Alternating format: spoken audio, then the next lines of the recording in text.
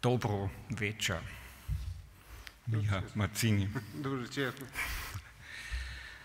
Mein Slowenisch ist sehr limitiert. Ich begrüße auf das Allerherzlichste Miha Marzini und freue mich, dass wir hier die deutsche Ausgabe äh, Du existierst nicht. Ich glaube, schon 2021 oder 2020 erschienen. Mhm. Die slowenische Ausgabe dieses Romans ist 2014 erschienen. Mhm. Äh, Micha versteht gut Deutsch, Micha, aber wir werden teilweise auch ein bisschen auf Englisch kommunizieren. Dieses Buch ist aus meiner Perspektive eines der erstaunlichsten Bücher vielleicht der letzten 20 Jahre, 25 Jahre, nicht nur aus Slowenischen, aus Slowenien, wo es bekanntlicherweise eine sehr interessante literarische Szene gibt, wir hatten sehr viele der slowenischen Autoren schon in den 80er Jahren, aber auch einige wissen, dass 90er Jahre, 2000er Jahre bis jetzt immer wieder zu Gast in der Alten Schmiede, auch schon einmal eine Literatur im Herbst, die der slowenischen Literatur gewidmet war. Aber das ist nur ein sehr erstaunliches Buch über die slowenische Literatur hinaus weil es in literarischer Form, basierend auf Recherchen, etwas darstellt, das von einer europäischen Öffentlichkeit und von der slowenischen Öffentlichkeit völlig vernachlässigt worden ist. Das ist quasi ein schwarzes Loch, nämlich dass 2000, äh, 1991, 92 plötzlich um die 25.000 Menschen in einem europäischen Staat Slowenien, der einige Zeit später EU-Staat geworden ist, nicht existiert haben, plötzlich, die waren ausgelöscht, weil sie in keinem Melderegister mehr vorkamen. Das Melderegister wurde damals elektrifiziert, also die Computer sind gekommen.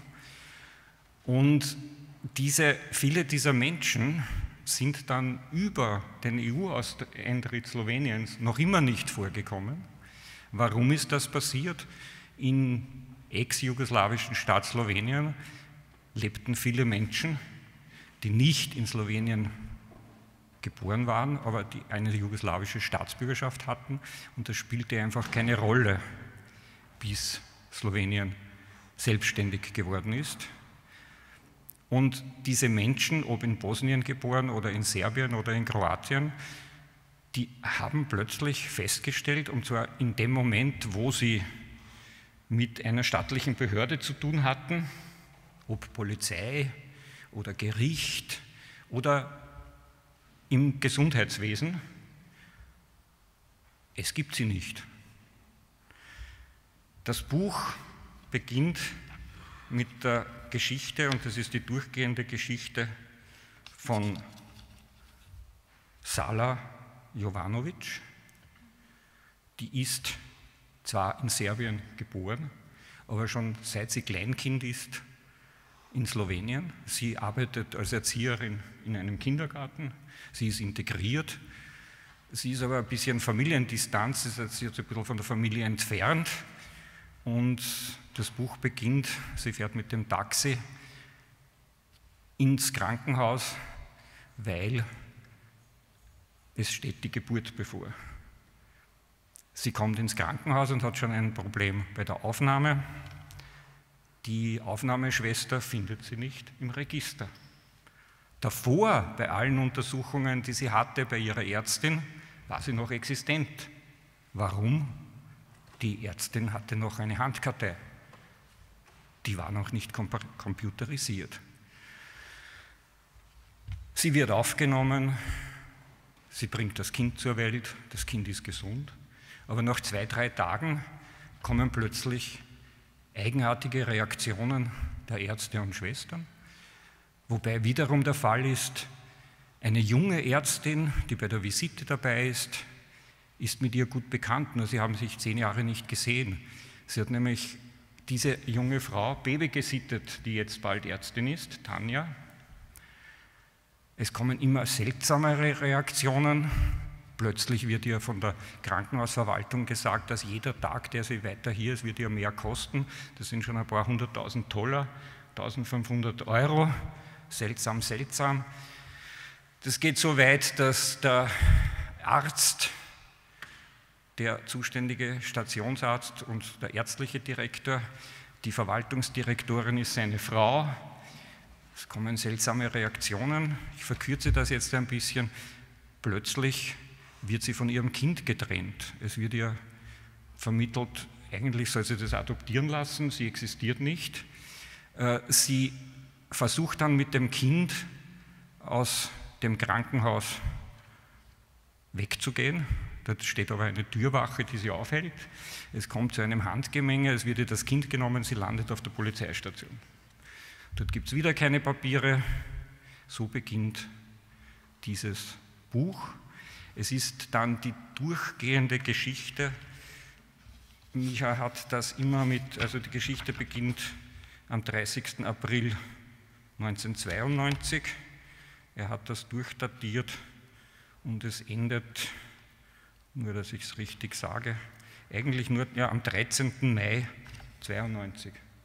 Also es handelt sich um drei Wochen und in diesen drei Wochen wird anhand einer Slowenin, die perfekt Slowenisch spricht, die nur also gebürtig aus einer serbischen Familie ist, dieses ganze Problem der 25.000 Verschwundenen plastisch abgehandelt. Die Charaktere sind großteils fiktiv, alles beruht aber auf Tatsachen und Fakten.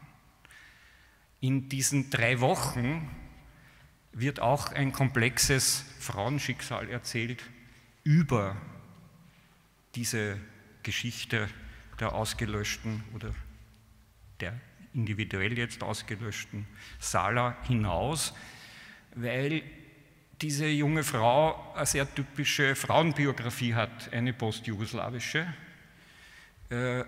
Sie hat ein sehr angespanntes Verhältnis mit ihrem Vater, der ein Offizier der, NV, der, der, äh, der äh, jugoslawischen Volksarmee war. Das war so das System dort, dass viele dieser Offiziere, der war eigentlich der kleinste Offizier äh, und also so, so ein Oberfeldwelbel. Es wird auch diese Enge geschildert, dieser, dieser Familiensituation. Natürlich ist dieser Oberfeldwebel noch immer sehr jugoslawisch. Da ist im Haus immer noch so kommunistische Zeitungen, dort ist Tito an der Wand.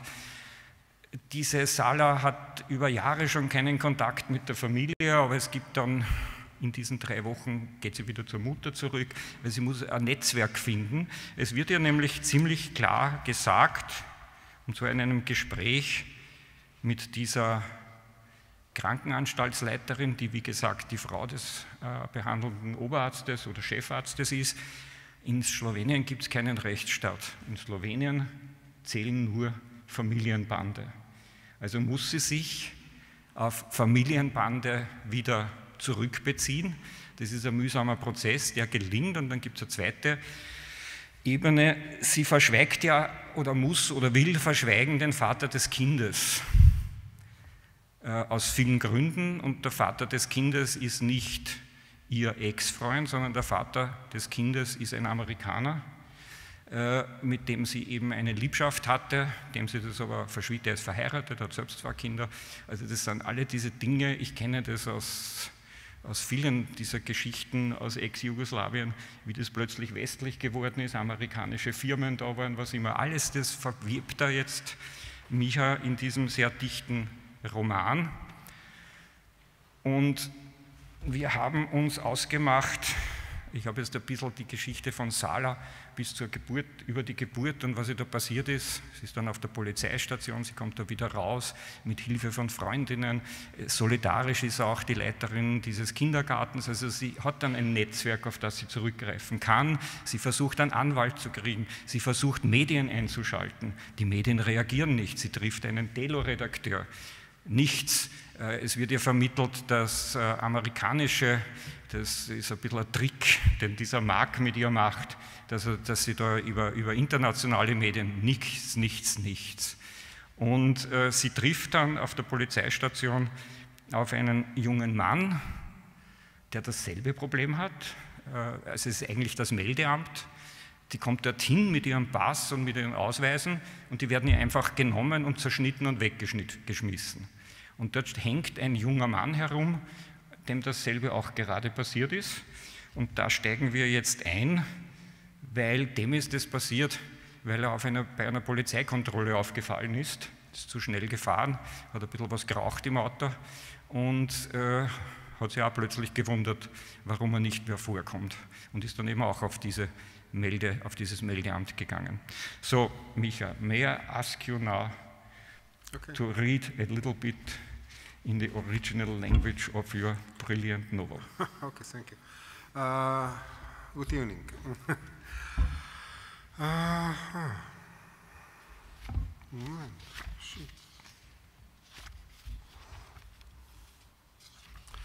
Uh, tako, prejšnji mesec malo prehitro sem vozil, kot ponavadi, rodil sem se s težko nogo, kaj moram.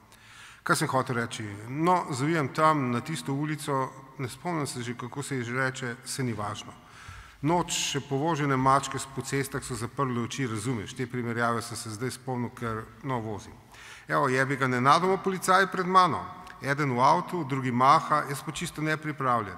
V lastnem avtu in s pravimi registrskimi tablicami. Ne vem, kaj mi je bilo, kot da bi šel nak na tržnico. Ustavim, kaj čem. Začne policaj hoditi proti meni, na hitro pospravljam, saj veš, kot stanovanje, ko čakaš obiske, malo je treba urediti. Vržem zavitek stravo po tisto plastično preprogo, kako se jim že reče, stopim gor, psov niso imeli s seboj, vse bo v redu. Policaj prihaja, sveti z baterijo, tablice po avtu, točno meni v oči, dolgo, razumeš. Zazdelo se mi je malo čudno, en tak, kako naj rečem, ne strah, se sem moški, ampak tak neprijeten občutek, sveti in sveti, kar solze so mi šle, čisto me je šokiral s to lučjo sredi teme. Pa po avtu, pa po meni, pička policijska sveti. Hočem malo navezati pogovor, rečem, sem bil malo prehiter, ne? ne bom več, obljubim. On nič, mok. Po drugi strani nisem več tisti mulc, ko so nas trpali v marice in vozili v gore. Ampak parim sem se pa tudi zameril, glava mi dela kot pneumatično kladivo, grem čez vse svoje grehe, ugibam, kdo bi lahko bil. Grehov ful, možnosti nešteto. Zdaj me pa res že grebila prpa, dlani sem imel čisto potne, kar drsele so po volanu. Na kar ti pobrne baterijo na vzgor, samo pljusk, razumeš, po svojem obrazu in vidim, da je tine. Tine, stari, kaj pa počneš, reče. Obrne baterijo dol, v tla, nič ne reče. Also letzten Monat bin ich ein bisschen zu schnell gefahren wie üblich. Ich habe noch mal von Natur aus einen schweren Fuß. Was soll ich machen? Was wollte ich gleich wieder sagen? Ah, ja, also ich biege dort ab in diese Straße. Ich weiß nicht mehr, wie sie heißt, ist ja auch nicht wichtig. Es ist Nacht, selbst die überfahrenen Katzen auf den Straßen schlafen schon, verstehst du, das Bild habe ich mir selbst ausgedacht. Und jetzt, naja, ich fahre. Und dann, verflucht, sind plötzlich die Bullen vor mir. Einer im Auto, der andere winkt und ich völlig unvorbereitet. Im eigenen Auto mit ordnungsgemäßem Kennzeichen. Ich weiß nicht, was an mir so interessant war, als würde ich nackt mitten auf dem Stadtplatz stehen. Ich halte an, was sollte ich auch tun? Der Bulle kommt auf mich zu und ich räume noch schnell auf. Du weißt schon, so wie die Wohnung, wenn man Besuch erwartet. Man muss halt ein bisschen Ordnung schaffen. Und ich werfe noch schnell das Tütchen Gras unter die Fußmatte, trete drauf. Ah, sie hatten Gott sei Dank keine Hunde dabei. Sollte also alles glatt gehen. Der Bulle kommt, leuchtet mit der Taschenlampe auf die Kennzeichen durch das Auto, auch in meine Augen. Lange, verstehst du. Das kam mir etwas seltsam vor. So eine, wie soll ich sagen, nicht Angst, ich bin ja ein Mann, aber so ein äh, unangenehmes Gefühl. Also er leuchtet und leuchtet, mir kamen geradezu die Tränen. Er hat mich mit diesem Licht mitten in der Dunkelheit total geschockt. Und dann dieses Bullenschwein, das erst das Auto durchleuchtet und dann mich. Ich will vorsichtig ein Gespräch anfangen. Ich sage, ich war wohl ein bisschen zu schnell. Was wird nicht mehr vorkommen? Ich schwör's dir. Und er sagt nichts. Schweigen. Aber ich bin auch nicht mehr dieser kleine Junge von damals, als sie uns ins Polizeiauto gezwängt und in die Berge gefahren haben. Aber mit ein paar Leuten habe ich es mir doch verdorben. Mein Kopf arbeitet wie ein Dampfhammer. Ich gehe alle meine Sünden durch, rate, was könnte das jetzt sein? Jede Menge Sünden, unzählige Möglichkeiten. Mittlerweile geht mir wirklich schon die Muffe. Meine Hände sind total verschwitzt, rutschen nur so übers Lenkrad. Dann dreht der Typ die Taschenlampe nach oben, nur ein kurzer Schwenk, verstehst du, über sein Gesicht und ich sehe, es ist Tine. Tine, Alter, was machst du denn da, sage ich. Er richtet die Taschenlampe nach unten auf den Boden und sagt nichts. Tine, was ist los? Hör auf, mir Angst zu machen, du Arschloch. Ich fange an zu lachen, warte darauf, dass er auch lacht. Du weißt ja, Lachen soll ansteckend sein. Verflucht, Tine ist geimpft, Tine ist geimpft, den steckt nichts an. Er steht da und schweigt, als wäre er aus Holz. Tine, was ist? Was stimmt nicht? Tu mir das nicht an, Alter. Endlich redet er. Du bist zu schnell gefahren, sagt er. Das kommt mir seltsam vor.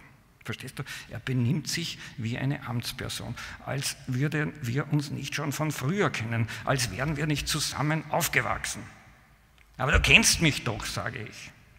Dich, sagt er so kurz angebunden, als hätte er die Atemluft nur auf Kredit bekommen. Ich denke nach, mir ist schon ganz eng ums Herz und dieses kurze Wort macht es noch schlimmer, wie eine Schraube, die sich enger dreht. Verstehst du? Du glaubst, okay, das ist das Ende, aber du reißt dich zusammen und es geht noch ein bisschen. Moment, wo war ich? Aber was stimmt denn nicht? fragte ich noch einmal. Was stimmt denn nicht? Und jetzt er, verstehst du, dort in dieser Dunkelheit, die Taschenlampe leuchtet auf den Boden, ich sehe ihn aber nur als Schatten. Auf einmal verliert er dieses steinerne Gesicht und wird wieder der alte Tine. Ich will ja nicht schlecht über die reden, mit denen ich aufgewachsen bin, aber bei ihm war uns schon immer klar, dass er entweder Soldat oder Polizist wird. Na, dieser Tine eben.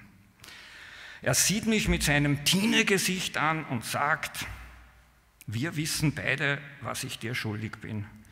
Du hast mich aus dem Fluss gezogen, du hast mir das Leben gerettet. Jetzt werde ich mich dafür revanchieren. Ich verstehe nicht die Bohne, um was es geht, aber mir ist klar, dass wir gerade etwas verhandeln, feilschen. Um große Summen, offensichtlich. Er nennt ja gleich das Leben. Das habe ich ihm tatsächlich gerettet, weißt du? Ich sage, was sagst du da, dass du mir keinen Strafzettel schreibst? Ist dein Leben etwa nur ein paar Geldscheine wert oder was?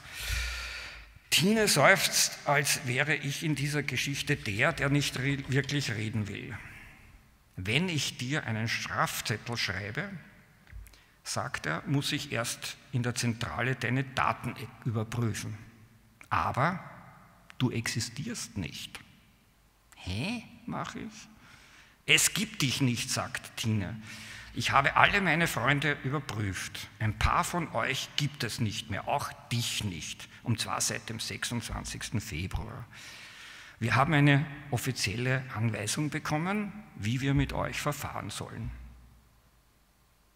Er spricht, als würde er an meinem Grab stehen und mich ins Jenseits geleiten, oder was? Ich muss ihn wieder zur Vernunft bringen. Ich denke an die logischste aller Möglichkeiten. Hast du Fieber? Musst du ins Krankenhaus? Er schüttelt den Kopf. Geh morgen aufs Gemeindeamt, zeig ihnen deinen Ausweis, wenn du mir nicht glaubst. Tine, äh, machst du Witze oder was? Du rächst dich jetzt an mir für all die Scherze, auf die du reingefallen bist? Und du bist sehr oft reingefallen auf meine Scherze. Er schüttelt den Kopf. Sie haben euch aus den Melderegistern gelöscht. Es gibt euch nicht mehr. Sie sagen, ihr wolltet die Staatsbürgerschaft nicht, ihr wärt gegen uns. Gegen wen euch? Ich werde wütend. Wir vom ersten Stock gegen euch vom mittleren Stockwerk oder was? Was redest du da? Ich spüre, wie sehr ihm das zuwider ist, dass er die Sache beenden will, weggehen will, mich einfach vergessen will. Weil du gelöscht bist, kann ich dir keinen Strafzettel schreiben. Und ich muss dich jetzt zum Asylantenheim begleiten. Dort bringen sie dich zur Grenze und übergeben dich den Kroaten. Die Kroaten werden sagen, oh, schau, ein Montenegriner, mit denen sind wir doch im Krieg. Und dann werden sie Dinge mit dir machen, die ich dir nicht wünsche. Deshalb werde ich gleich gar keinen Zettel aus der Tasche ziehen. Du bist gelöscht und ich sehe dich nicht. Und jetzt sind wir quitt. Aber ich darf dich nie wieder sehen. Er hat die Taschenlampe, die Taschenlampe ausgeschaltet und ich habe ihn wirklich nicht wiedergesehen. This is a scene which very clearly you cannot walk. It's your text. Uh, by the way, uh, uh, die uh, Übersetzung aus dem Slowenischen stammt, die glaube ich, sehr gut ist, ja. aus dem Slowenischen von Anne-Catherine Bolton. Äh, das ist eine Szene, die sehr dicht äh, schildert, äh, wie das bei Amtshandlungen vielmals, hunderte Male passiert ist, dass plötzlich ein Ausgelöschter erfahren hat, dass er ausgelöscht ist und in dem Fall hat der Glück gehabt, weil er nicht sofort über die Grenze expediert worden ist. Äh, Micha as I said in the introduction, um, I, I, really did research it after when I read it first time a year ago, and then now I couldn't find something in an Austrian or German media about this topic.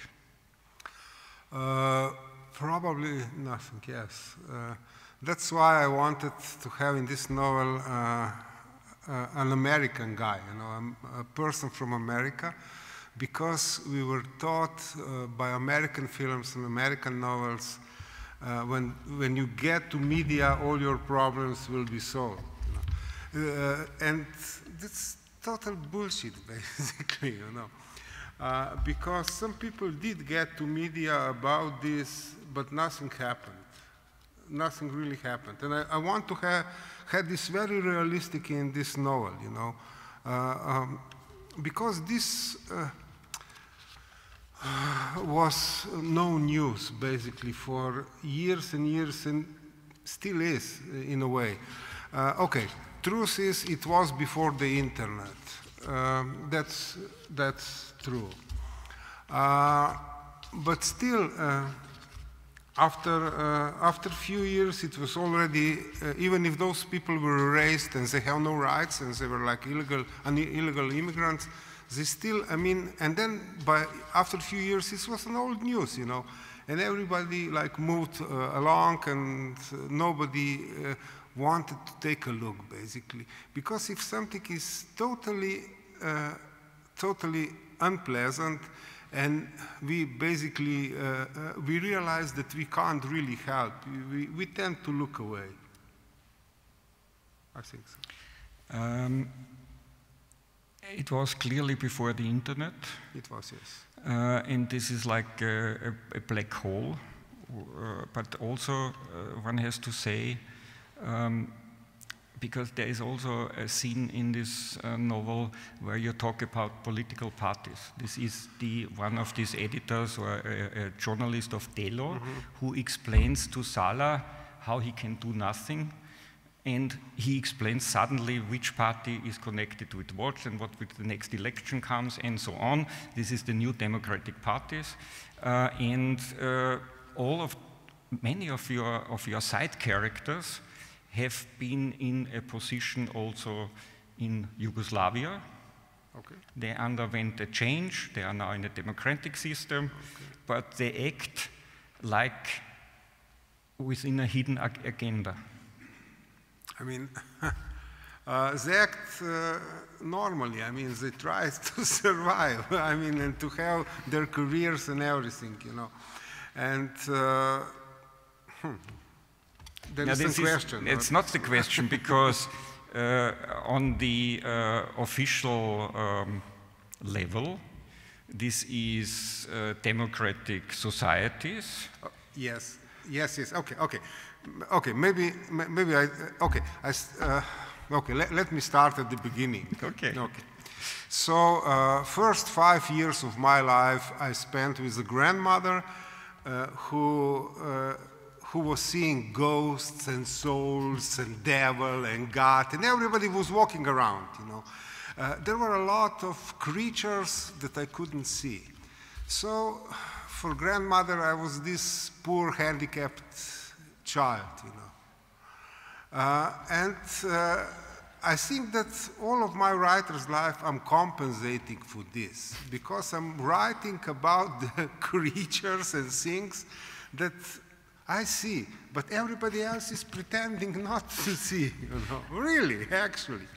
And uh, and when I first heard that Slovenian government has, erased 2% of the population, which is not so, I mean, small amount of the uh, number of people, uh, I realized, I thought to myself, I was young and naive, you know, and I said to myself, uh, well, at this moment, every Slovenian writer is writing a book about this, you know.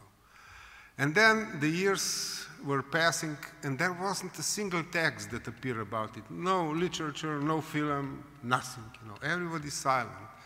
And I realized that I'm sitting again with, in my grandmother's room. You know, except this time I'm the grandmother who's seeing all kind of things. Everybody's pretending not to see. Okay. But and somehow this must be my masochistic nature. I said, okay, I will make a very mainstream feature film about the erased. Okay, and I start uh, doing the interviews, collecting the information and uh, everything, you know, and that took years.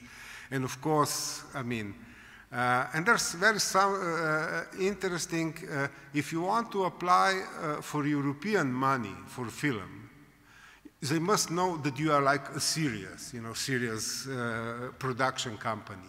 And how do these European funds know that you are a serious production company?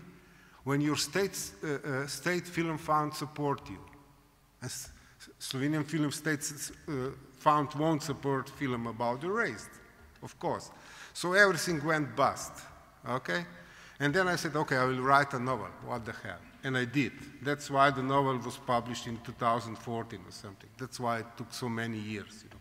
But afterwards, when the novel was published, uh, I got a call from the producer. Whoa, whoa, whoa! There's a constellation on Slovenian film fund uh, changing. There might be a possibility that there is uh, a new boss will sign some money so we can apply for a European fund. And that's what happened. It cost him him job, and thank you. But what can I say? Okay, so actually we made this film, and now, now the answer to your question. I'm so sorry, but I have to explain this. And uh, because I'm an anthropologist, you know, uh, by PhD, I put one scene in the film because I wanted to see it in the cinema, how it plays out. And the scene is very short. The, our heroine, you know, she wants her child back and she's erased. And she's on uh, the, some social services office. And those uh, social services clerk, she, the woman, that bureaucrat woman, says to her, Okay, we will arrange this, don't worry. Please, trust the system. Okay. And you know what was the greatest pleasure? When we have premiere uh, um, up in Scandinavia, total silence in this scene, you know. People watching, nodding, yes, yes, trust the system. It was totally clear. And then slowly the film was moving down. In Germany it was, yeah, yeah, like trust the system. In Serbia, they were rolling, falling on the floor, you know, ah, ha, ha, trust the system. It was, I mean, like comedy hit you know, of trusting the system. And what this tell you? That everybody has in our heads a bullshit detector that knows exactly how much law abiding his own country it is, his or her country it is. We know. Not maybe consciously, but deep down we know. You know, and just this, trust the system, and if you laugh at this, you know that you have to use it, your connections and your relatives and everything. Sorry for the long answer. No, no, it's super. Can I go now? No, no, uh, okay. no, no, no, I won't release you. he wanted to have it very short. we had a pre-talk. Um, I could convince him to stay at least 45 minutes. Um, diese, diese Sala ist eigentlich sehr tapfer. She's a very brave woman. I mean, she's motivated. Uh, she's motivated to do Because something. Of course, I mean, she she's fighting for her her child. child. But maybe that's something to be told too. I mean, uh, uh, uh, I'm happy to say that this story didn't happen. But the beginning of the story, you know, mother coming to the hospital, giving birth, and suddenly, oh, you don't exist, you know. But the child then exists, you know, and if the child exists and the parents doesn't, so, you know, what is this? What kind of situation do we have here? And it happened, I don't know, at least that I know three or four times. And then uh, uh, all these uh, uh, bosses in the hospital said, okay, okay, let's solve this somehow, you know. Okay, we will put you down that you are a tourist passing by, you get, you, you give us the money and uh, goodbye, you know. And these uh, women were calling their husbands or parents, or, and they were collecting like ransom, you know, money, so they paid and they went to the hospital. But I asked myself, what if, okay, somebody would quarrel there, so the boss of the hospital would call uh, the police. Yes, and that would happen. I mean, she was like an illegal immigrant. Ja, ich, ich gehe jetzt kurz auf Deutsch. Äh, diese, diese Anstaltsleiterin ist ja von einer seltsamen Perfidie. She's a very perfect person because she wants to give this uh, child away for adoption. Äh, die möchte das adoptieren und diese Sala wehrt sich und droht in einem Gespräch mit einem Rechtsanwalt. Sie meint, das kann so nicht sein, das wird so nicht sein. Und ich zitiere, ich habe es das einleitend schon gesagt, da sagt die Klinikerleiterin, ha, haben Sie mir denn nicht zugehört? In diesem Staat zählen nur Verwandtschaftsbeziehungen. Das ist kein Rechtsstaat. Und wenn haben Sie niemanden. Wegen Ihrer Sturheit wird auch Ihr Sohn so werden. Ohne Beziehungen und Bekanntschaften ein Niemand auf Wiedersehen. That's a very interesting sentences. It is. Telling Uh, a I'm lot so about the society. I'm so glad that I don't, I don't understand them. But no, I do, I do, I do. Yes. Okay. Okay, I, I try it um, in another way. Um, there is a kind of, uh, in the German word is Revisionismus, Revisionism, in uh, all of our societies, not only in Slovenia, which means that uh, historical facts are completely changed. Yes, well, I tell you, for I mean- example, for example, in Slovenia or Croatia, now there's a diff- completely different story told about partisans, about Yeah, yeah, yeah. Yugoslavia. This is what I mean is Revisionismus, No, I don't Geschichtsrevisionismus. think so. Because uh, when we are remembering, uh, it's not like there is some film or hard disk. When we are remembering, we're creating our history from our current position. And this, uh, okay, uh, there was an experiment done in the United States, but there was a very good experiment when people had to write their life stories. Okay, so they had to write their life stories. And half of them, you know, the experimenter uh, said to them, Yo, we ran out of these forms. Please go, can you go and fetch these forms down the corridor, you know? So half of these people who were about to write their life stories went outside to get the paper. And the, the scientist put one dollar banknote on the floor. So half of them found uh, one dollar before sitting down and writing their life stories. And those who found one dollar, their life stories were uh, more brighter, more successful, they were more glad about their achievement and so on. Yeah, we are built like this. And even our states are built like this. They have to build this ideology uh, every moment. and they have to uh, disregard the facts because the facts hurt. We are not built for the facts. We are built to live life in dreams. You know, the less contact with reality you have, the better you are living. I mean, of course, that's normal. I mean. Okay. Uh, noch ein letzter Versuch. Uh, just a last try, very short. This is astonishing for me that uh, in the country where I was born, and uh, these three days are a lot about Faschismus and Faschisierung, new fascism, whatever. I can tell you, I, your, your, your book starts on the 30th of April. I'm born on the 30th of April. It's in my country the Führers des Day, Führers Todestag. And um, I was born in a country part of Austria, Upper Austria, which was a complete concentration camp, the whole Upper Austria in 45, mm -hmm. but nobody saw anything. There was a Mauthausen, yes, but we didn't really know what they yeah, did there. And in the beginning of the 90s, it happens that 25,000 people just disappear, but without concentration camps. Yeah, I mean, uh, yeah. Uh, this disappearance was really total. I mean, it was uh, not just the citizenship, the work permit, everything went just away. So those, and it was really, I mean, uh, I, I talked to, uh, to a woman, uh, I mean, for instance, uh, okay, you mentioned that they did this for the people who were born in ex-Yugoslav republic. Okay, if you were born in Vienna, no problem. If you were born in Sarajevo, big problem. If you are born in Berlin, no problem. No problem, no if problem. If you are born in Luxembourg, no problem. No, no, no, no. Uh, but, All the uh, guest workers had no problem. No problem, no, no, no. Uh, but I mean, I, I really, this uh, it's, it was personal conversation. And the lady said uh, that she, she, she, uh, she was living in a small city by the Slovenian coast, down by the sea, in a city called Isola. And she heard, uh, she, that was Yugoslavia at the time, of course. And she heard that the hospital on the other side of the border in the town, I think Novigrad, uh, the Croatian town, is better. So she went there to give birth, uh, and she, there, she uh, so she returned, you know, after three days, she returned with a son, you know. Okay, and no problem. So the kid went to, uh, to primary, uh, to kindergarten and then to primary school, and then uh, Slovenia uh, got independent, and this erasure happened.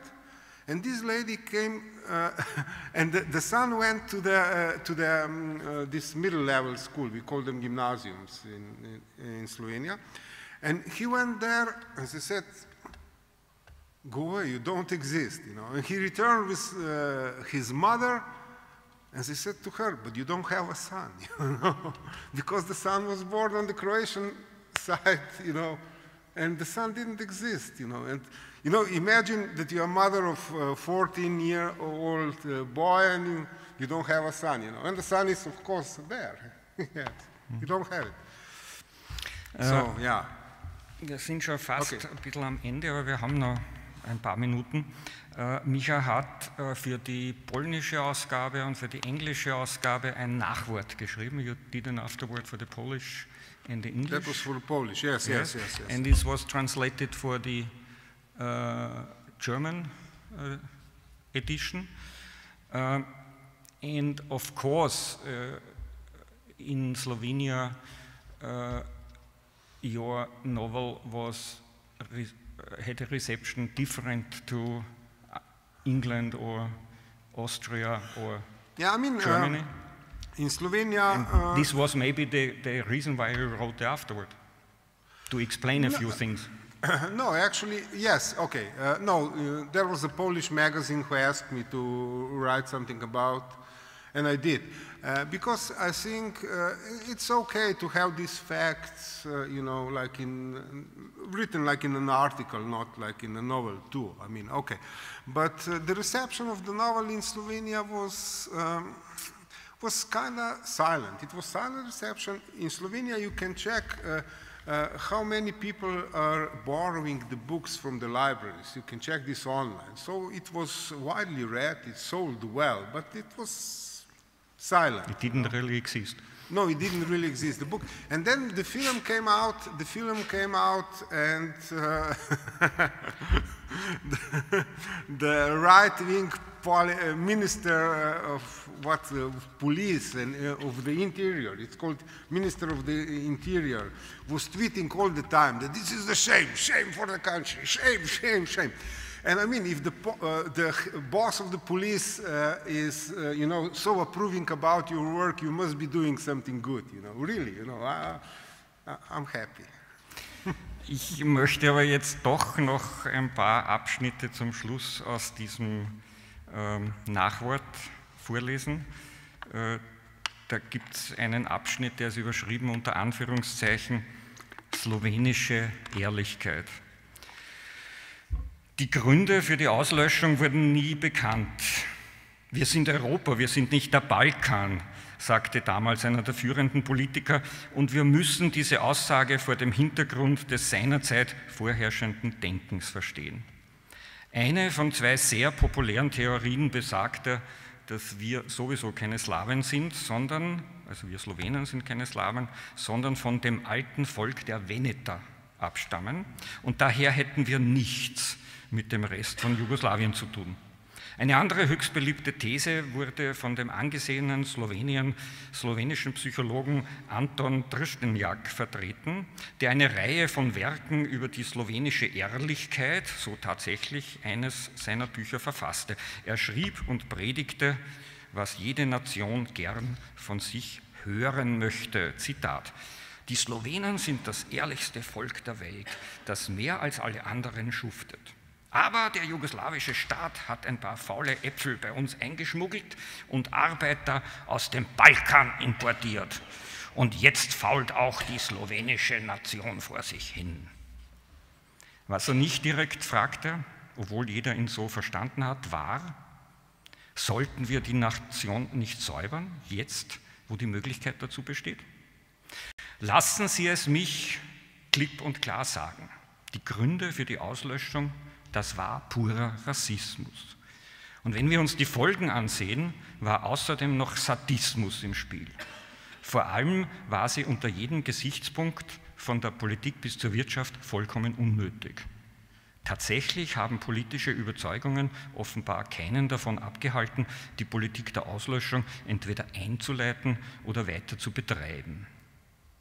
Die erste Regierung des unabhängigen Sloweniens unter Premierminister Lojze Peterle war rechts, stürzte aber schon im Mai 1992 und wurde von der linken Regierung unter Janis Dranovšek abgelöst. Loise Peterle war danach viele Jahre lang Abgeordneter des Europaparlaments, während Janis Dranovšek Präsident Sloweniens wurde und als spiritueller Wegrufer mehrere erfolgreiche New Age-Bücher über Liebe publiziert hat. Der Schimmel, der sich im ganzen Haus ausbreitet, ist der nächste Absatz überschritten, geschrieben. Und jetzt das letzte Zitat. Mit der Auslöschung wurde seitens der Kräfte der Rechten begonnen und die Linken hielten daran fest.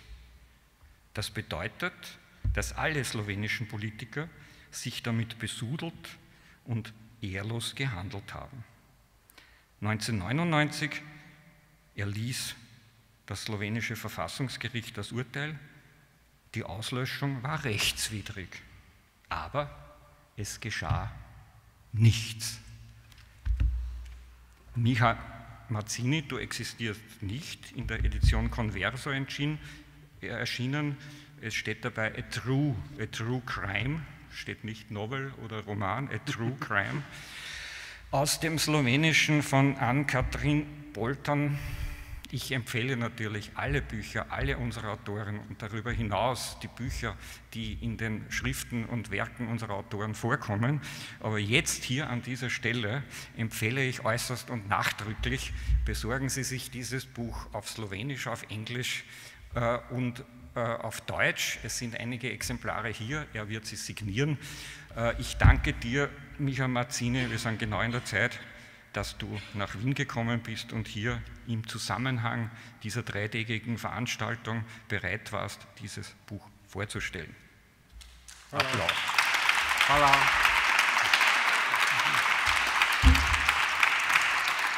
Und